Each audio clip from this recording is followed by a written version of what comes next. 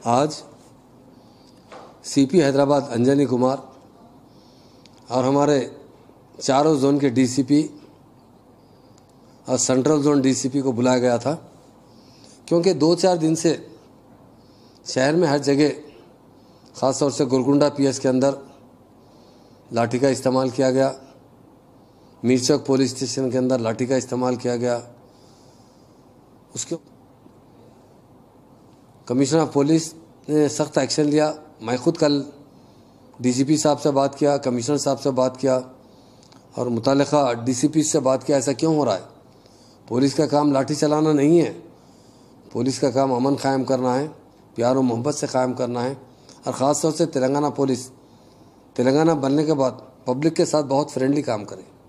ये corona virus फैलने के बाद यकीनन हमें सख्ती बरतना ज़रूरी था।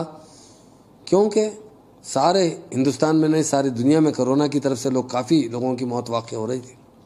उसकी रोकथाम के लिए हमारे सीएम साहब ने बहुत से मीटिंग ली और डीजीपी साहब को वक्ता वक्ता इंस्ट्रक्शन देते रहे। पुलिस भी लॉकडाउन पर सख्ती से अमल करने के लिए बहुत सख्त रवैया अख्तियार कर रही थी। मगर पुलिस का मकसद ये नहीं है चीफ मिनिस्टर साहब का नहीं है, हमारा मकसद नहीं है कि कभी लाठी का इस्तेमाल करें।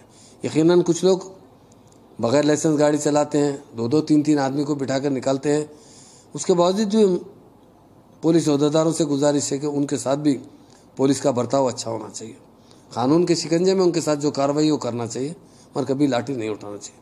आज कमिश्नर साहब के साथ काफ़ी देर तक लैंड ऑर्डर पर डिस्कशन रहा, तमाम डीसीपी से भी डिस्कशन रहा, और डीसीपी को हिदायत दी गई कि वो एवरी पुलिस स्टेशन का विज़िट करें।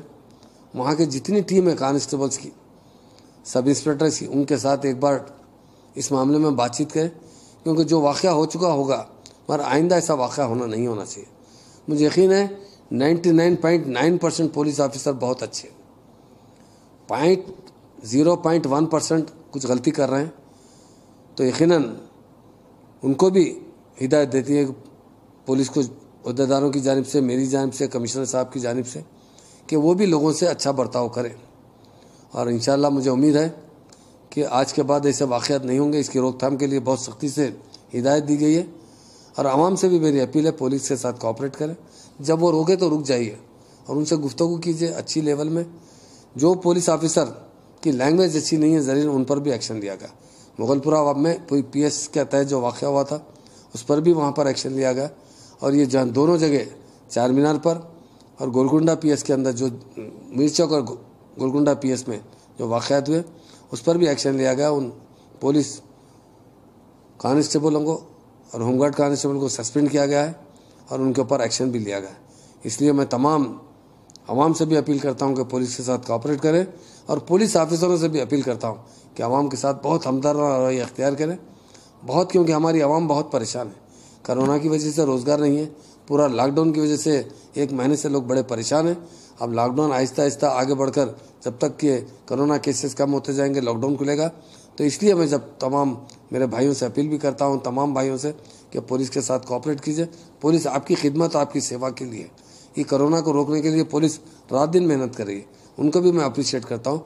मगर जो पुलिस वाले कांस्टेबल्स डंडा उठा रहे हैं, उनकी भी मैं मजम्मत करता हूँ। मैं मैं उम्मीद करता हूँ कि आइंदा ऐसा वाक़ नहीं होगा।